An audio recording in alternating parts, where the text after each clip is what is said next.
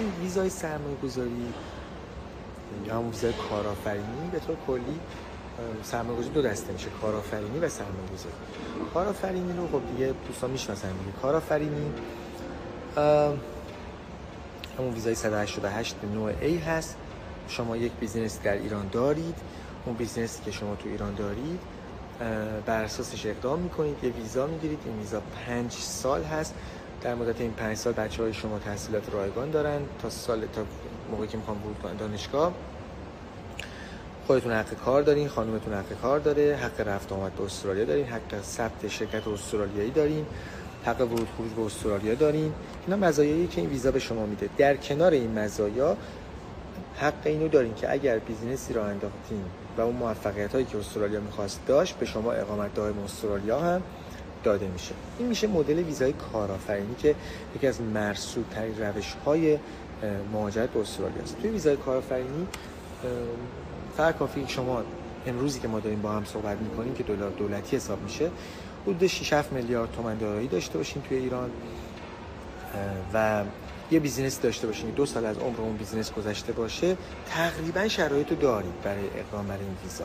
دیگه باید بیاین انتخاب کنید کدوم شهر استرالیا می‌خواین بیاین هر شهر الزامات خودشو داره شرایط خودشو داره. مثلا سیدنی 1.5 میلیون دلار پول باید بیارین اطراف سیدنی 600 تاست بریزبن 400 تاست اطراف بریزبن 300 تاست ادلید 300 تاست کمبرا 200 تاست پرت 200 تاست و ملبورن هم 200 تاست که نوآوری و زبان می‌خواد. ملبورن که خب تقریبا این روزها کارو سخت کرده. انتخاب می‌کنین شهرتون رو بر اساسش اقدام می‌کنین. حدود یک تا یک نیم سال می‌کشه که ویزای شما بیاد. تو یک نیم سال خب باید سری برنامه داشته باشید که خودتون آماده کنید برای مهاجرت. و در واقع وقتی که مهاجرت حالا ویزاتون رو گرفتین توی ایران حالا باید با اون ویزا باید که نیست. می‌تونین بیاین استرالیا. پنج سال زمان دارین که تو این پنج سال دو سالش رو business کنید. تو دو سال business تون سال اولش فقط business رو را بندازید.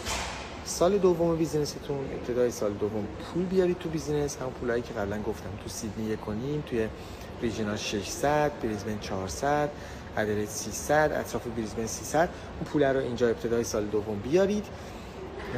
و در اون سال در سال دوم 300 هزار دلار استرالیا فروش کنید توی business تون و دو تا کارمند هم استخدام کنید. این شروط رو که انجام دادید حالا می‌تونید برای اقامت دائم استرالیا در استرالیا اقدام بکنید. این میشه در واقع خلاصه ای از شرایط ویزای کارآفرینی که خب این روزها شاید مرسوم ترین روش در بین کشورهای استرالیا، کانادا و آمریکا برای ایرانی هایی است که باهاش دارن به استرالیا مهاجرت می‌کنن.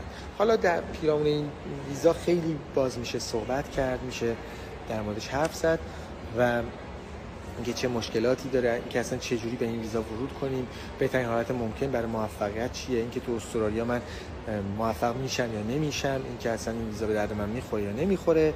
و مسائل زیادی پیرامون این ویزا هست که شما می‌تونید در موردش اطلاعات داشته باشید. بهترین کاری که می‌تونید شما بکنید دوباره من یه وبینار سه ساعته برای ویزای کارآفرینی دارم که می‌تونید در اون وبینار رو ببینید و در موردش اطلاعات کسب کنید. توی اون وبینار من در مورد ویزای سرمایه گذاری هم صحبت کردیم. به جز ویزای کارآفرینی که مرسوم ترین روشه نوع سرمایه گذاری پولی هم که عمدتا خیلی به کار ایرانی ها نمیاد و ازش استفاده نمی‌کنن اونجا توضیح دادیم که مدل 2.5 میلیون دلاری داره مدل 5 میلیون دلاری داره که 2.5 میلیون دلار پولتون رو تو بازارهای استرالیا سرمایه گذاری می‌کنین ممکنه پولتون زیاد یا کم بشه. بعد مثلا 4 5 سال میرید و ازش ویزا می‌گیرید خیلی مرسوم نیستش. اون روش کارآفرینی خیلی بیشتر مرسومه. و اینکه کل این پکیج و تمام اطلاعاتی که مورد نیازتونه رو به دست بیارید یک وبیناری من دارم حدود سه ساعته که اونجا توضیح دادم. این که وبینار رو شما اگه کلیک بکنید همینجا یا توی در واقع وبسایت ما یا اگر حالا ویدیو رو جای دیگه می‌بینید همینجا که اگر لینک پایین هست این ویدیو که برای نگاه کنید کلیک بکنید. میرید توی اون وبیناری که شما باید در واقع نگاه کنید اون وبینار رو و اونجا دیگه سه ساعت کامل روی این ما در واقع صحبت کردیم که ویزای 188 استرالیا رو چجوری میشه گرفت و مراحلش چیه و چه کارهایی باید براش انجام داد و چیا رو باید بدونیم و چیا رو بدونیم بهمون کمک می‌کنه و لینکش رو کلیک بکنید برید اون وبینار رو نگاه بکنید. بعد اگه خواستین دوباره بیشتر گپ بزنیم جلسات ما داریم که با هم می‌تونیم گپ بزنیم و در مورد شرایط شما با هم دیگه گپ بزنیم و صحبت بکنیم.